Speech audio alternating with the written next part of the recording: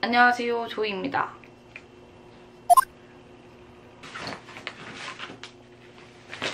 오늘은 제가 이렇게 보시다시피 캐리어를 펼쳐놓고 있는데 바로 이틀 있다가 필리핀에 가요.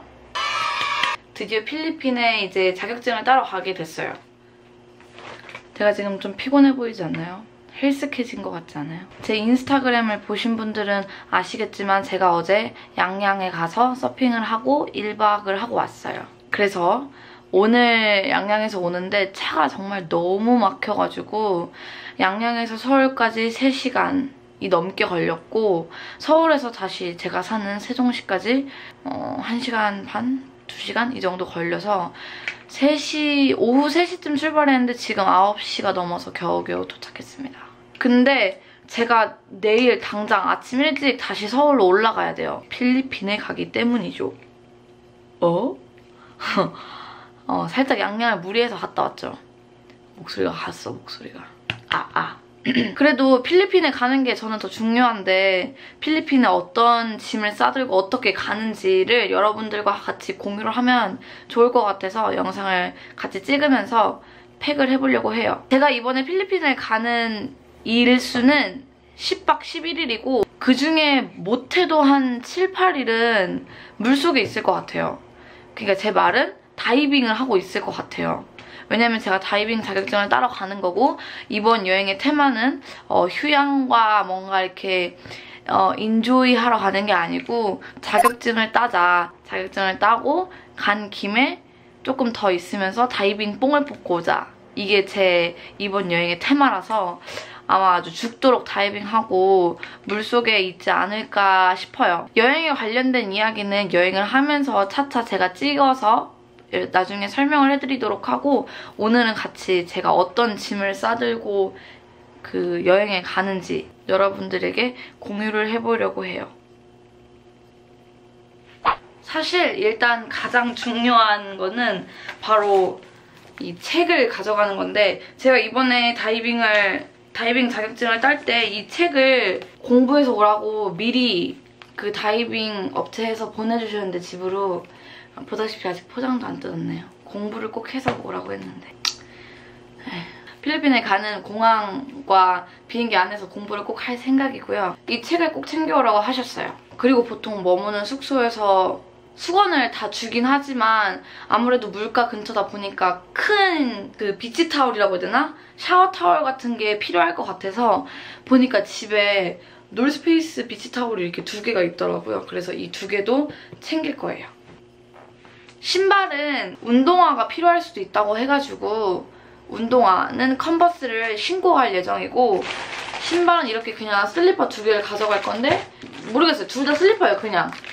하나는 나이키 슬리퍼고 이거는 호텔이나 여기저기 막 돌아다닐 때 신을 거 하나는 비치용 슬리퍼예요. 모래나 물에 강한 그래서 이런 슬리퍼를 두 개 챙겨갈 생각이고 제가 아마 물 숙소, 물 숙소 이럴 것 같아서 딱히 다른 샌들이나 다른 신발들은 챙겨가지 않을 생각이에요. 필리핀에 다녀왔던 사람들이 말해주는 팁 같은 거를 많이 읽어봤는데 보니까 이런 작은 물티슈들을 꼭 가져오라고 하더라고요.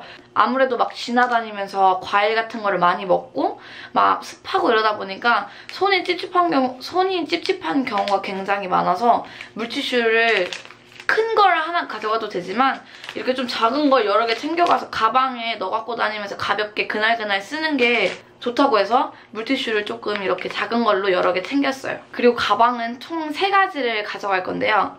하나는 이렇게 작은 클러치예요. 손목에 이렇게 끼고 다니는 클러치인데 어디 밤에 그냥 돌아다니거나 집 앞에 마실 나갈 때 핸드폰이랑 립스틱이랑 뭐 돈 조금이랑 이렇게 가볍게 들고 다닐 만한 그런 파우치고 이 안에 칼이 들어있네요. 이 칼은 과일을 사 먹을 때 생각보다 깎아 먹을 칼이 없어서 엄청 불편하다는 말들이 많았어요. 그래서 과도를 꼭 챙겨오라는 말을 많이 들었어요. 그래서 과도를 이렇게 챙겨갑니다. 근데 이거는 기내용에는 절대 못 가져 못 가지고 들어가고 붙이는 수화물이 있는 경우에만 가지고 들어갈 수 있고 간혹가다 붙이는 수화물에서도 이거를 뺀다고 하더라고요. 가져갑니다. 빵칼이 좋대요. 이렇게 쇠칼보다 빵칼은 뺏기지도 않고 음, 과일도 충분히 잘 썰리고 좋다고 하더라고요. 이렇게 생긴 이거 나무 지푸라기로 된 백인데 이거는 제가 이제 물에 나갈 때 비치에 나갈 때 여기다가 수건이랑 뭐 그런 필요한 것들을 대용량으로 가지고 다닐 수 있는 정말 막 가지고 다닐 수 있는 그런 가방인데 수영복들도 넣어가지고 다니고 아무튼 물놀이 갈 때 들고 다닐 가방입니다. 그 다음에 평상시에 기본 에코백으로는 제가 정말 사랑하면서 항상 보여드리는 이 메르시 가방입니다.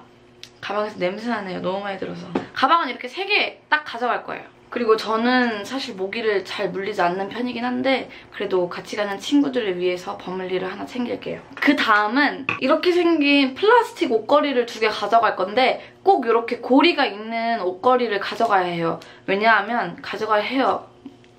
왜냐하면 이제 수영을 매일매일 해야 되기 때문에 매일 밤마다 수영복을 빨아서 말려야 되잖아요. 그럼 밤마다 수영복을 빨아서 널기 딱 좋은 쉐입의 옷걸이죠?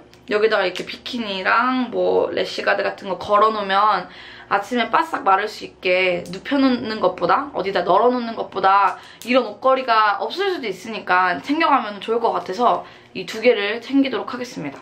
아무래도 물에 오래 있고 더운 나라다 보니까 목이 많이 마를 것 같고 이런 물병을 챙겨서 물을 채워갖고 자주자주 먹으면서 다닐 생각으로 이 물병도 가져갈 거예요. 자, 이런 미니 트리포드도 챙겨주고요.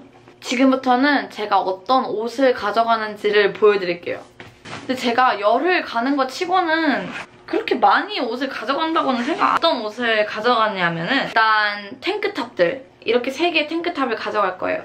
하나는 그냥 검은 색깔 기본 탱크탑이고 하나는 이 검은색보다 조금 더 짧은 탱크탑이고 또 하나는 이렇게 생긴 굉장히 짱짱한 탱크탑입니다. 제가 나시를 이런 끝나시를 굉장히 좋아해서 끈나시도 이렇게 여러 개 챙겼어요. 검은색이랑 여기 제가 좋아하는 올리브색이랑 나시 종류로 된 거 옷. 제가 수영복을 입을 때 겉에 입을 cover-up이나 robe가 없어요. 대신할 만한 용도의 옷으로 긴 흐물흐물거리는 이렇게 흐물흐물거리는 긴 바람에 굉장히 잘 날리는 이런 옷을 robe로 그리고 이건 제가 옛날에 캐나다에서 자라에서 산 반팔티였는데 사실 너무 뭐라고 해야 되지? 이 패턴이 강렬해서 한 번도 입지 못했거든요. 팔을 가위로 싹둑 잘라내고 나시로 바꿨어요. 그리고 이제 비키니나 수영복 위에 입고 이 아래를 이렇게 묶어주면 은 커버업으로도 좋을 것 같아서 이렇게 나시로 만들어서 이런 티셔츠를 가져갈 거예요. 여름여름스러우면서 되게 샤랄라한 치마를 제가 잘 안 입긴 하는데 그래도 휴양지고 놀러 가는 거니까 이만큼 오는 되게 샤랄라한 위에는 위에는 끈이 나시로 돼 있어요. 그래서 이것도 사실 커버업으로 입을만 하다고 저는 생각해요. 속에다가 수영복을 입고 이거 겉에다 입고서 나가가지고 이거 벗어 던지고 놀고 난 다음에 수건으로 닦고 이거 다시 입기 얼마나 편해요 옷이. 느슨느슨하고 샤랄라하니까. 색깔 굉장히 마음에 들어요. 그리고 꽃무늬긴 한데 너무 막 여성스럽고 좀 과한 느낌이 드는 꽃무늬는 아니어서. 그리고 또 하나는 이렇게 생긴 올리브 색깔의 파란색이랑 갈색 좀 여름 느낌 나는 패턴이 들어가 있는 옷이에요. smock banding 처리돼 있고 위에 이렇게 넓은 끈으로 돼 있어요. 이게 바지예요. 그래서 입으면 살짝 치마같이 보이긴 하는데 사실은 바지인. 그래서 다리를 쩍 벌려도 되는 이건 색깔이 마음에 들어서 가져갈 생각입니다. 이건 지나가는 길에 H&M이 할인을 너무 빡세게 하고 있는 거예요. 그래서 보고 딱 아 여름에 입으면 되게 좋겠다 싶은 tube top jumpsuit shorts라고 해야 되나? 이렇게 여기는 banding 처리돼 있고 이렇게 입는 쇼츠예요. 반바지. 어, 이거 되게 가볍고 흐늘흐늘해서 사실 잘 때 입어도 되게 좋을 것 같아요. 버튼으로 돼 있는 하얀 화이트 데님 청치마. 이것도 가져갈 생각이에요. 이걸 제가 최근에는 많이 입은 적이 없는데 제가 나시 종류나 tube top 종류를 많이 가져가는데 그런 옷들과 굉장히 잘 어울릴 것 같아서 청치마를 하나 가져갈 거예요. 이렇게 생긴 귀여운 이 바지는 제가 잠옷으로 입을 바지입니다. 귀엽죠? 그 다음 대망의 수영복들을 보여드릴게요. 뒤가 많이 파인, 아주 여기까지 파인 monokini인데 이걸 입을지는 모르겠어요. 왜냐면은 다이빙을 할 때는 대부분 wetsuit를 입고 하기 때문에 안에는 비키니를 입고 wetsuit를 입고 다이빙을 한다고 하더라고요. 그래서 입을진 모르겠지만 그래도 최대한 많이 수영복을 가져가서 매일매일 같은 수영복만 입고 빨고 널고 하면 굉장히 찝찝하니까 이 모노키니 이렇게 생긴 거 하나 가져가고요. 제가, 자, 제가 사실 가지고 있는 비키니가 그렇게 많진 않지만 회색깔 비키니가 있어요. top. 여기 밑에 와이어가 없는 비키니라서 굉장히 편하고 뭐 가슴을 모양을 막 예쁘게 이렇게 딱 잡아주진 않지만 매일매일 오래 입고 있어도 좀 편한 비키니라서 회색 비키니 탑을 가져갈 생각이고 이렇게 셔링이 잡힌 비키니 팬츠가 따로 팔더라고요. 그래서 앞, 뒤로 되게 잘 잡혀있는 이 비키니 팬츠를 하이웨스트까지 오는 걸 샀어요. 그래서 이거. 이건 제가 이번에 양양에 서핑할 때 가져가서 입고 온 건데 이건 사실 수영복은 아니고 제가 운동할 때 입는 바지긴 한데 왜 이걸 가져가냐면 이게 속옷이 필요가 없어요. 왜냐면은 운동할 때 입는 바지라서 안에 이렇게 팬티가 내장되어 있어요. 그래서 이거 하나만 입어도 몸에 착 달라붙고 굉장히 안정적이라서 그리고 래쉬가드는 두 개 챙길 건데 모노키니처럼 생긴 래쉬가드예요. 안에 패드가 내장되어 있어서 그냥 아무것도 안 입고 얘만 입고 그 다음에 또 다른 래쉬가드로 집업을 가져가는데 이거는 비키니 같은 거 입고 나갈 때 겉에다가 입거나 어, 다이빙 나중에 fun diving 할 때 수트 없이 다이빙을 하게 되면은 래쉬가드를 입고 해야 될 수도 있으니까 래쉬가드를 혹시 몰라서 짜잔! 이건 진짜 제가 정말 너무너무너무너무 2만 퍼센트 추천하는 브래지어인데 여자분들한테 이렇게 생긴 브래지어예요.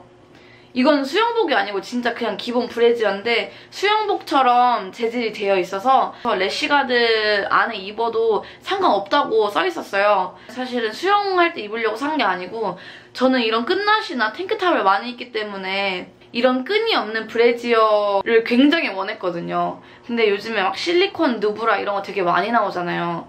근데 그런 게 사실 물이 조금만 닿아도 금방 떨어지고 불안하기도 하고 불편하고 이래가지고 있지만 생각보다 손이 잘 안 가더라고요. 제가 진짜 이 브래지를 알고 나서는 정말 진짜 탄탄하고 어, 고정력이 너무 좋아서 이 안에 와이어가 있는 건 아닌데 요만큼의 심이 이렇게 심이 있어가지고 되게 무슨 광고하는 거 같네? 저는 이걸 제가 인터넷에서 수영복 살 때 같이 돈 주고 산 정말 제 돈 주고 산 제품인데 진짜 너무너무 좋아가지고 제 친구들한테도 계속 계속 자랑하고 다니고 있어요. 평상시에 끈으로 돼 있는 나시 같은 거 입을 때나 탱크탑, 튜브탑 이런 거 입을 때는 어 이거 진짜 짱이에요. 그다음에 속옷 종류는 이렇게 비닐백에다가 넣어가지고 이 안에 여기에 이너라고 써가지고 제가 카메라도 가져가고 맥북도 가져갈 생각이라서 맥북을 왜 가져가는지 진짜 모르겠지만 짐일까요? 그래도 잠깐씩이라도 이렇게 사진이나 영상 정리를 하기 위해서 맥북을 가져갈 생각인데 여기 이렇게 카메라 충전기, 맥북 충전기 이런 것들을 가져갈 건데 이걸 뭐라 그러지? 캐나다에서 썼던 이 110V짜리 헤드를 가져갈 거고 여기엔 다 USB 군형들이 있어요. 그래서 여기다가 뭐 핸드폰 핸드폰 충전기를 꽂아도 되고 카메라 충전기를 꽂아도 되고 충전기들도 USB 선만 가져갈 생각이에요. 햇볕에 항시 많이 노출되는 공간이기 때문에 해변이라서 이런 알로에 수딩젤을 챙겨가서 그날그날 얼굴이나 이렇게 팔, 다리가 너무너무 탔으면 진정을 시켜줄 수 있게 젤을 저는 웬만한 스킨케어들은 다 눈에 보이게 이렇게 지퍼팩에 넣어가는 편이에요. 파우치를 따로 챙기지 않고 지퍼팩에 넣어가면은 방수도 되고 굳이 막 어디 파우치였지 이렇게 찾지 않아도 한눈에 딱 보이니까 너무너무 찾기가 좋더라고요. 그래서 여기는 제 기초 제품들하고 팩을 넣었어요. 이거는 이 facial 마스크팩인데 아무래도 얼굴이 가장 많이 고생을 할 것 같아요. 매일 밤마다 팩을 해주기 위해. 그리고 이건 제가 클렌징 할 때 쓸 화장솜 열흘치와 이거는 클렌징 티슈인데 일회용으로 돼 있는 것들을 샘플로 갖고 있던 것들인데 이렇게 여러 개 챙겨가서 밤에는 클렌징을 하고 자고 아침에 일어나서는 이제 이렇게 클렌징 티슈로 한 번에 가볍게 닦아주고 그냥 세안하고 물 세안만 하고 바로 기초 케어 하거든요. 이제 제가 또 귀걸이를 굉장히 좋아하기 때문에 귀걸이 또한 비닐백에 넣어가지고 이렇게 챙겨갑니다. 샤워할 때는 딱 샤워할 때 들고 갈 수 있는 이제 백을 하나 준비했어요. 그래서 샴푸, 바디워시, 클렌징 폼, 컨디셔너 이렇게 해서 여기다가 넣어놓고 샤워할 땐 그냥 얘만 가지고 이렇게 이렇게 들어갔다가 이렇게 이렇게 나올 수 있게 샤워용품을 그냥 딱 아싸리 샤워용품 파우치를 만들어가지고 여기다가 다 들고 갈 생각이고 이 모든 걸 다 가져가도 이거 없으면 갈수 없는 바로 그것 여권과 돈인데요. 이렇게 파우치를 만들어가지고 여기다가 돈하고 여권하고 동전 지갑 같은 걸 또 가지고 가요. 사실상 들고 다니는 돈은 여기다가 넣고 다니고 큰 돈은 여기다가 보관을 해서 캐리어 안에다 깊숙이 넣어놓을 생각인 그리고 또 중요한 건 바로 이 고프로인데요. 제가 이제 다이빙 자격증을 따고 난 다음에 그 다음부터는 펀다이빙을 할 생각인데 펀다이빙을 할 때는 고프로를 가지고 들어가서 제가 어떤 식으로 다이빙을 하는지나 아니면 제가 다이빙을 하면서 보는 것들을 영상에 담아보고 싶은데 잘 될지는 모르겠어요. 저도 아직 안 해봤기 때문에 고프로에 이 고프로와 이 카메라에 열심히 담기 위해서 이렇게 USB-칩도 이렇게 챙겨갈 거예요. 그리고 우린 언제나 핸드폰 배터리의 노예이기 때문에 이 보조 배터리도 챙길 거예요. 이게 답니다. 플러스 마이너스가 될 수도 있지만 대충 저는 이런 식으로 가져갈 생각이고 어떤 식으로 자격증을 취득하게 되는지 다음 여행 브이로그에서 보여드리도록 할게요. 그럼 오늘 영상도 봐주셔서 감사합니다. 안녕. 어제 서핑할 때이 이 패들링을 너무 많이 해가지고 여기가 다 지금 알이 너무 빡세게 베겼어요. 여기가 너무 아파. 그럼 저는 다시 이 짐들을 깔끔하게 정리를 하고 얼른 씻고 자러 가야겠습니다. 안녕.